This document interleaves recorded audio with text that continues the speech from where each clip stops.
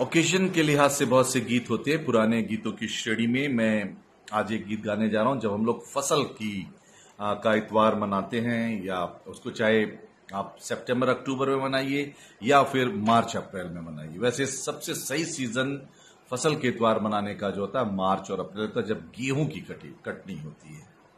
तो उससे संबंधित एक गीत है मैं वो आपके सामने गा रहा हूँ। बहुत पुराना गीत है। बचपन में ये हमारे चर्च में आजमगढ़ में ये गाया जाता था।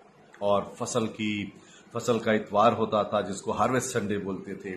बहुत सब लोग अपने अपने घरों से कुछ न कुछ जिनके यहाँ सब्ज़ियाँ हुई हैं, फल हुए हैं, लाते थे चर्च में। और आज भी ये ट्रेडिशन है कि हम लोग हार्वेस्ट संडे मनाते हैं, लेकिन कभी कभी कहीं मैंने देखा है कि वो अक्टूबर वगैरह में मनाते हैं। तो रियल टाइम जो है इसका वो मार्च, अप्रैल है। इस गीत को मैं आपके सामने गाने जा रहा हूँ। ये गीत की किताब में मिलेगा कलेसियाई गीत की किताब में, गीत नंबर 351 दूर और पास अब खेत तैयार हैं। आइए इस गीत को हम लोग देखते हैं कैसा है।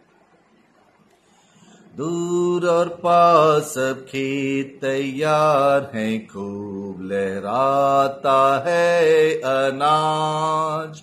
खेत के मालिक से है मेहनत बेच मजदूर को खेत में आज। मालिक तेरी मेहनत करते, भेज मजदूर तू खेत में अब।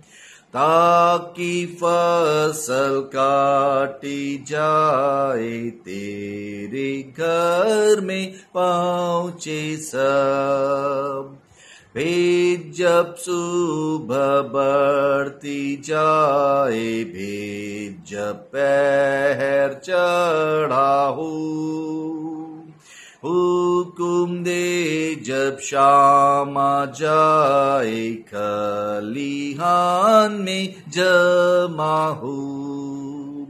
मालिक तेरी मेहनत करते भेज मजदूर को खेत में आज।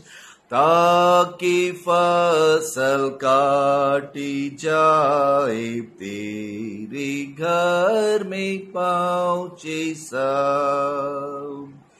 जल्दी कर की बाल है झुकी बाँध जरी ने फूलों को ताजब शाम हो तू घर लौटे, कामिल खुशी तुझको हो।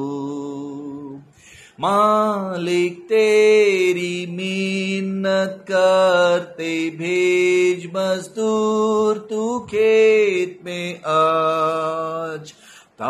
ताकि फ़सल काटी जाए, तेरे घर में पहुँचे सब।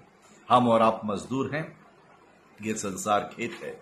परमेश्वर के लिए फ़सल काटना है। बुलाए हुए बहुत हैं, चुने हुए थोड़े हैं। मजदूर थोड़े हैं और खेत तैयार है। इसका ये मीनिंग है। परमेश्वर आप सबको बड़ी आशीष दे। आमीन।